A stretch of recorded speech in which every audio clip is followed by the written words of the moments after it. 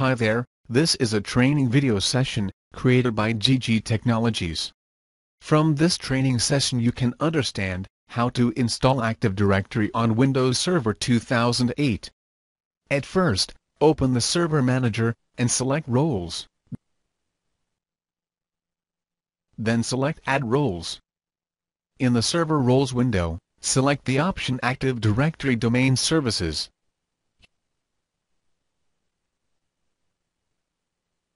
Here, you can read the information about Active Directory domain services.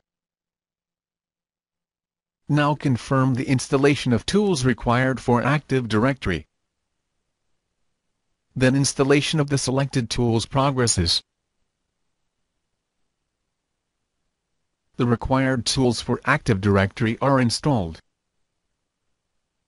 Use the Active Directory Domain Services installation wizard to make the server, a fully functional domain controller. After viewing the results you can close the window. After entering dcpromo in the run command, welcome page of Active Directory installation wizard appears. Now view the operating system compatibility and plan your installation.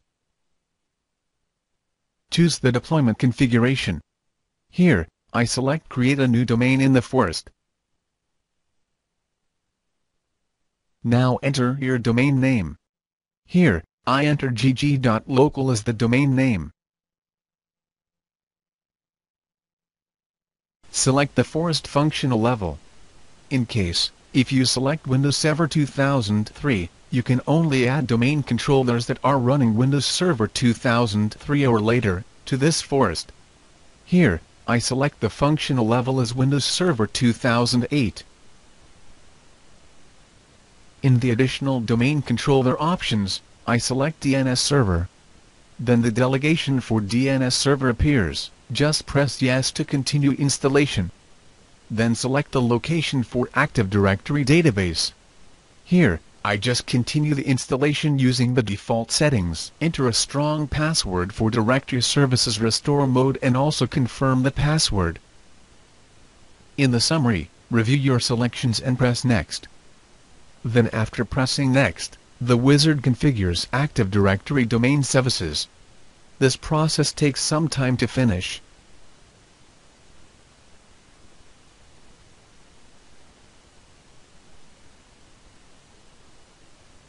Finally the Active Directory installation is finished. Then restart your computer. After restart, your computer settings, domain controller policy settings, and security settings are applied. Then, type your administrator password. After that, your user settings, desktop settings are applied and then you reach the desktop. Now you can view your installed Active Directory settings. We hope that this training session made your task of installing Active Directory on Windows Server 2008 simple and interesting. We feel happy in providing you with the training on how to install Active Directory on Windows Server 2008. For queries, feel free to contact us at guruji at ggtech.com. Looking forward to serve you better. Thank you.